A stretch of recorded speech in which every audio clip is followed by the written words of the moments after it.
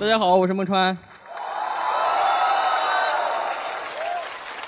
今天的主题是别怕，只是孤独。我觉得孤独取决于你和周围人的共性，没有同类肯定孤独。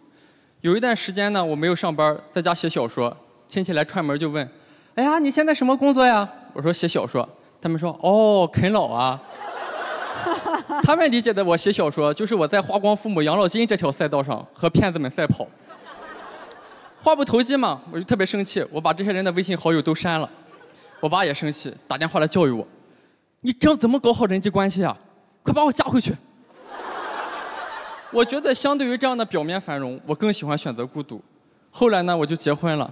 我结婚的理由就是，我觉得只有跟这个姑娘，我才有说不完的话。但结婚后发现，我跟她是约会的那一个小时有说不完的话，她跟我有二十四个小时说不完的话。所以呢，我更希望有一些独立的空间。恋爱的时候一冲动想飞到对方的城市待两天，结了婚一冲动想在飞机上待两天。但是大部分都是逃不开的日子，这时候就能看出来男女的生活策略有很大的不同。男人叫装听不见，女人叫再说一遍。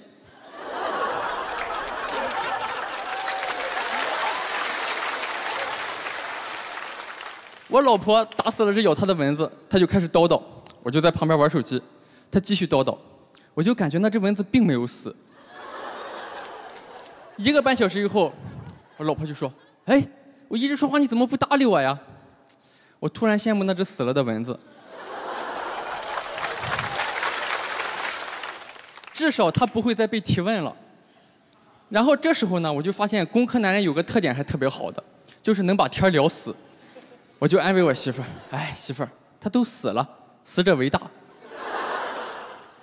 那一刻呢，就迎来了婚姻生活中最幸福的时刻，就是安静。我被撵出来之后呢，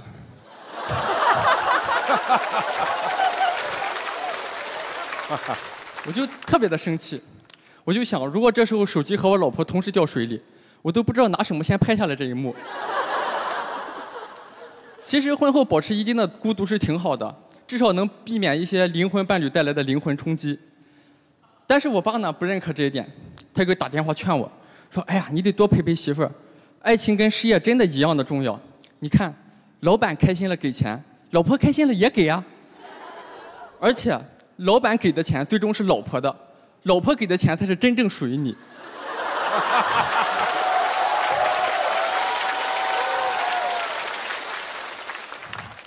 我也开始反省，不是为了钱哈，就是想反省了。然后我就觉得我的孤独是不是因为我懒，比如说懒得沟通、懒得协调。但是我想改吗？并不想，也是因为懒，我有了强大的适应能力。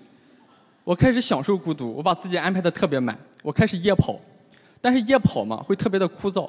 有时候我会带点火腿肠喂喂流浪狗，狗狗们一开心还会跟着你跑跑。没想到的是。越来越多的狗加入到了追逐我的队伍中去，相关人员要求我办狗证，我说这不是我的狗啊，他们就给我看举报视频，每天晚上八点，一群野狗自发的在我家楼下等我，那一刻真的泪目了，哇，从一群狗身上找到了久违的老友相约的感觉，不能喂狗以后，我想，要不然我也养个宠物，心灵有个伴儿嘛，但是想了想算了。毕竟理解这个层面，同物种都很难做到。我也有时间呢，继续写我的小说，并且顺利签约了。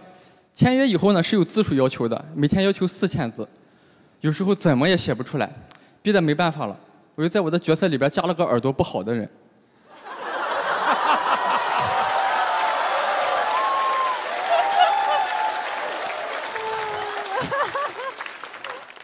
有人过去找他打听事他说：“你说啥？”那人就再说一遍，周末呢要求多更一张，每天六千字，实在不行了，就加了个教学片段，老师教一句，学生跟读一句，实在写不完了，就让老师检查背诵，老师呢还会生气，背的他啥？给我重新背。到了节假日要求爆更的，每天一万字，我实在不忍心，但是没办法，我让我的主角结婚了。我老婆叨叨我那套词儿就用上了，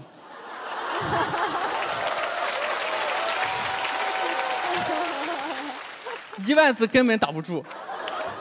孤独真的没啥好可怕的，自处也能挺好的。现在我们感觉呢，身边孤独的人看似是越来越多了，实际上大部分人都是伪孤独。他们就像一壶正在烧着的开水，嘴里喊着孤独孤独，内心却翻滚着浪。